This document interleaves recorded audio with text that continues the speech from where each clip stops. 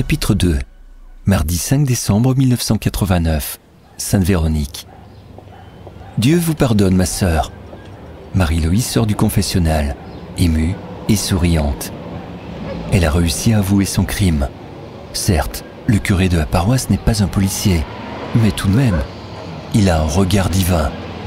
Ses prières et sa foi expriment la volonté de Dieu. C'est ainsi. Il fallait qu'elle le dise à quelqu'un. Mais qui pouvait entendre cela? Marie-Louise a pris une décision qui allait changer sa vie. Mais que faire maintenant? Comment vivre avec cela sur le cœur? Sa confession était sa seule issue. Aller voir la police? Ah non, ça n'aurait pas été envisageable. Et puis, ce n'était pas si grave pour qu'elle dérange les policiers. Qui allait vraiment regretter sa disparition une fois qu'il ne serait plus là? Il était mal en point. Son état de santé s'était fortement dégradé ces dernières années. Ce n'était plus digne de lui. Il éprouvait beaucoup de difficultés pour se déplacer et il avait besoin d'aide pour presque chaque mouvement. Il perdait la tête et d'ailleurs, ça avait déjà assez duré. Il fallait agir. Mais ce n'était pas le pire. Marie-Louise ne supportait plus de l'entendre gémir. Comment pouvait-elle encore subir son sale caractère plus longtemps? Et c'est sans parler de son haleine fétide dès le matin. À bien y repenser, chaque moment avec lui était désagréable. Ce n'est plus une vie, il faut que j'en finisse. Le curé José Desporté l'a écouté se plaindre attentivement, sans l'interrompre, pendant près de cinq minutes. Ce n'est pas si grave, ma sœur. Suivez votre bon sens et faites ce que votre cœur vous commande. Mais est-ce de l'un de nos paroissiens que nous parlons? Au moins, le curé est compréhensif. Peut-être pas très moral, mais compréhensif. C'est le principal. Elle a entendu ce qu'elle attendait. Elle est maintenant soulagée. Marie-Louise est une femme forte comme deux hommes.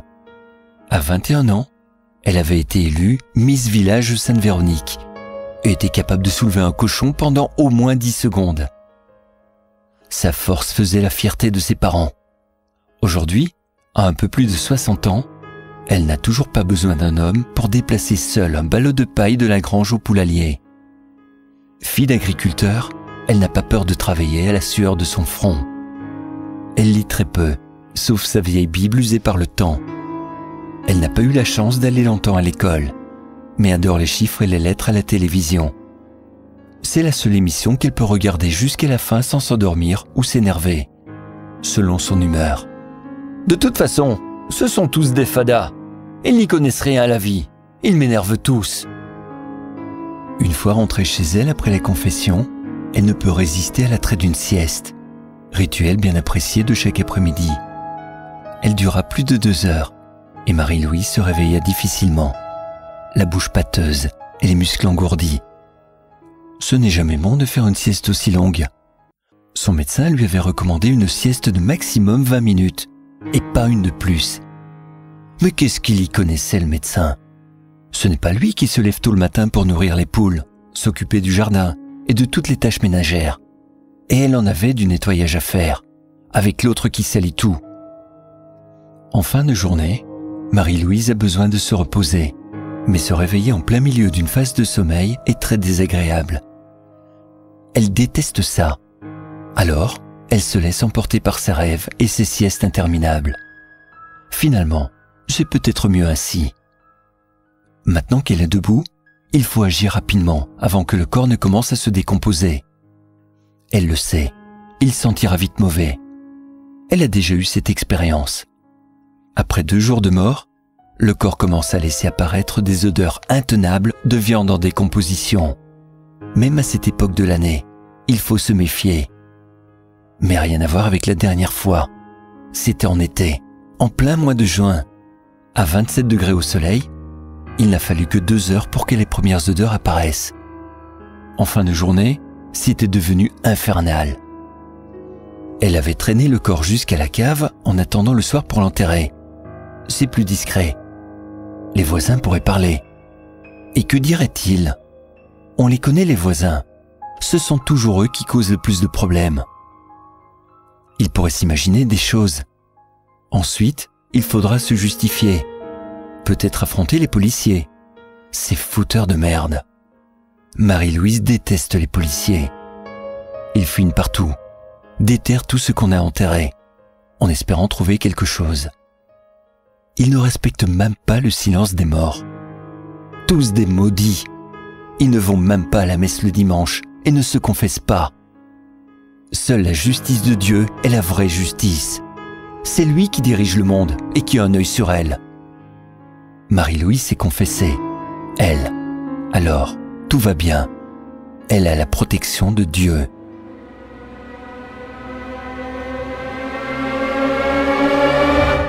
Tombée de la nuit, seule dans sa petite maison, elle est prête. Ses courbatures ont disparu. Elle a bu une bonne soupe préparée avec les légumes de son jardin et terminé son repas par une petite liqueur de figues faite maison, accompagnée de trois figues mûres à point. Elle les adore bien fraîches.